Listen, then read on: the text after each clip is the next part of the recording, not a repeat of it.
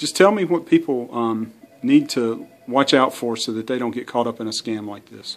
Uh, the main thing I would probably tell folks is if it sounds too good to be true, it probably is. We, that's you know a saying that's been going around for a long time. Um, you know they'll try to call you and they want to give you something pretty much for nothing or for very little value. They might say, hey, if you send us this much money, let's say for example $500 in return, you might get $2,000.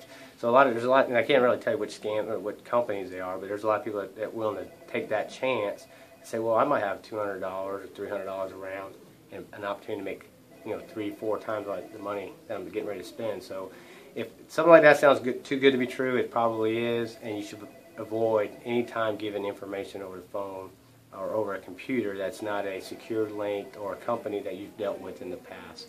Uh, so you definitely know your, not your name, your social security number, uh, bank routing numbers, or even credit card numbers, or anything like that that could get copied, used against you down the road.